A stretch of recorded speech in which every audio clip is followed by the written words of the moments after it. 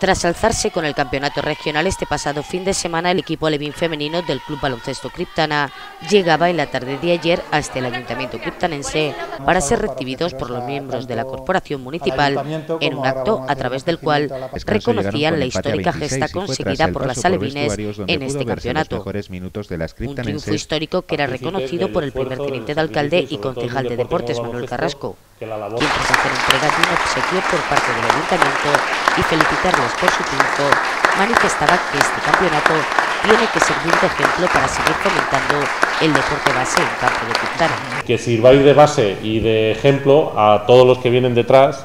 y creo que es un, bueno, pues un resultado que demuestra el trabajo que está haciendo tanto el club como la escuela de baloncesto,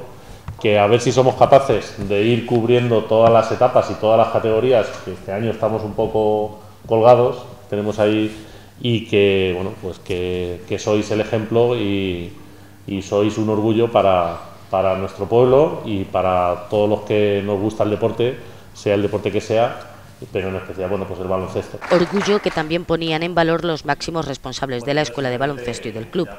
En esta línea y tras felicitar al equipo, el coordinador, Gaby Campos, agradecía el trabajo y el apoyo que durante toda la temporada han recibido por parte de los padres siendo ellos un pilar fundamental en el devenir de la escuela. A los padres. Eh, ellas son importantes, el cuerpo técnico es importante, pero esto sin los padres no, no funciona. Y la escuela, que está haciendo buen trabajo, tampoco sería nada sin la labor que hacéis los padres y como complemento a, estamos nosotros. Entonces, enhorabuena chicas, estamos contentísimos con el trabajo que habéis hecho y ya os lo dije en el entrenamiento del lunes. No podemos relajarnos y no podemos parar. El último turno de intervenciones fue precisamente para el presidente del club, César Panadero, quien en primer lugar quiso agradecer el apoyo de los padres y de entidades como el ayuntamiento para después manifestar con rotundidad que son el mejor eh, equipo de toda por arriba, por abajo son campeonas regionales.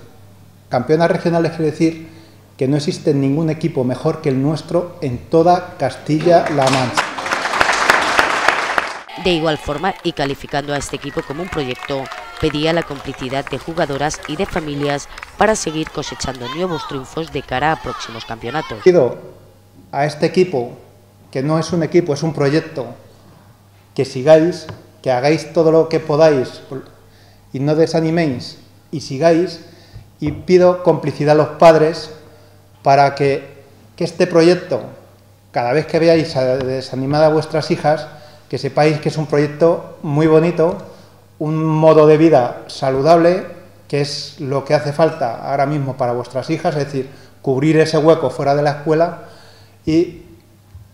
allá cuando la veáis desanimadas, coger y decir, esto es así, y para adelante, que esto es un gran proyecto. Tras las palabras y ante los aplausos de familiares, miembros del club, corporación y amigos, las jugadoras se hacían la tradicional foto de familia a las puertas del ayuntamiento para terminar ofreciendo el campeonato a la patrona, la Virgen de Criptana. Un acto con el que ponían fin a una tarde festiva e inolvidable para este equipo que es campeón de Castilla-La Mancha.